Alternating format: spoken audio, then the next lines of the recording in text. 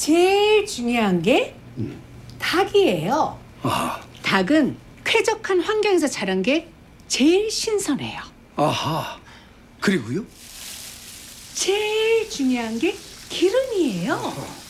기름은 순식물성으로 오, 먹어요. 기름, 순식물성.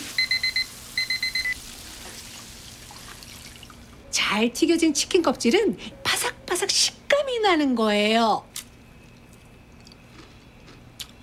아, 네. 진짜 그러네요.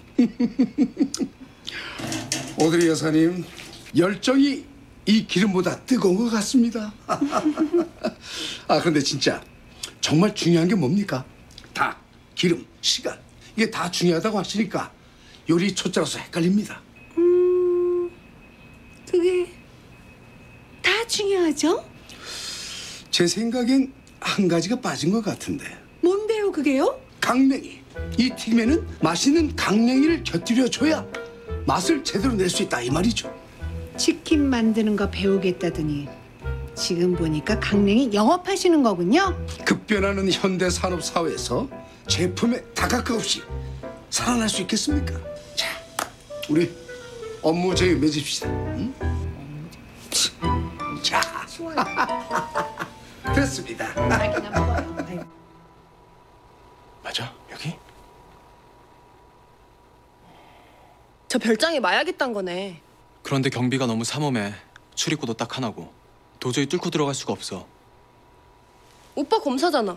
영장 받아와. 아, 영장에 자판기 코핀 줄 아냐? 누르면 나오게. 아, 명분 있어야 청구를 하지. 그래 영장을 청구하려면 뭔가 구린 게 있어야 되는데 아, 구린 게 있다 해도 이 오검사 몰래 할 수도 없고.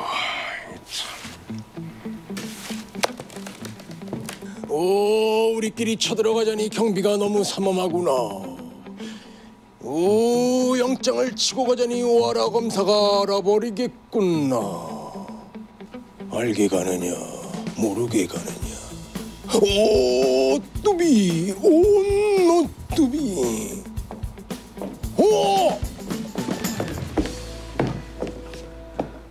사우나 좋네. 남녀 혼탕인가? 아니 여긴 왜 온 거예요? 비밀 아지트인데. 오빠가 알려준 거야? 치사하게 미행한 거야?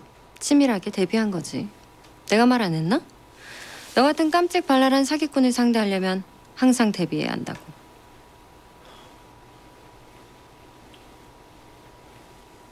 여긴 어디야?